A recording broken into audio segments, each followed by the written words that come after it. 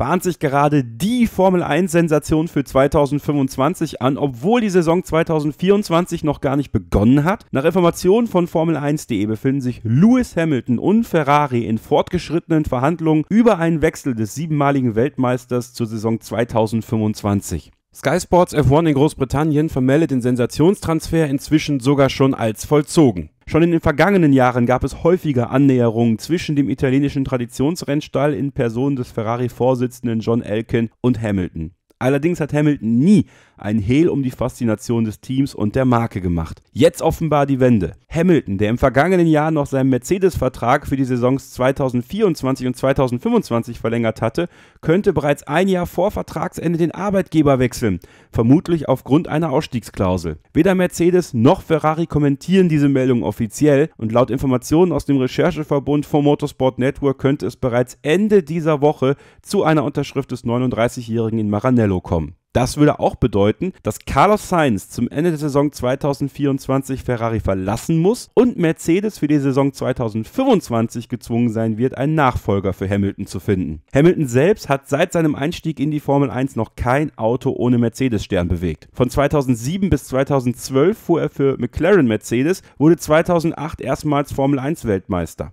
Seit 2012 ist er Teil des Mercedes-Werksteams und sicherte sich sechs weitere Titel. Sein letzter Sieg aber liegt schon lange zurück. Saudi-Arabien 2021. Das vorletzte Rennen der wohl verrücktesten Formel-1-Saison aller Zeiten. Was denkt ihr? Wären Hamilton und Ferrari ein Match made in heaven? Und was bedeutet diese Entwicklung für Charles Leclerc, der seinen Vertrag vergangene Woche noch für mehrere Jahre verlängert hatte? Schreibt es uns in die Kommentare.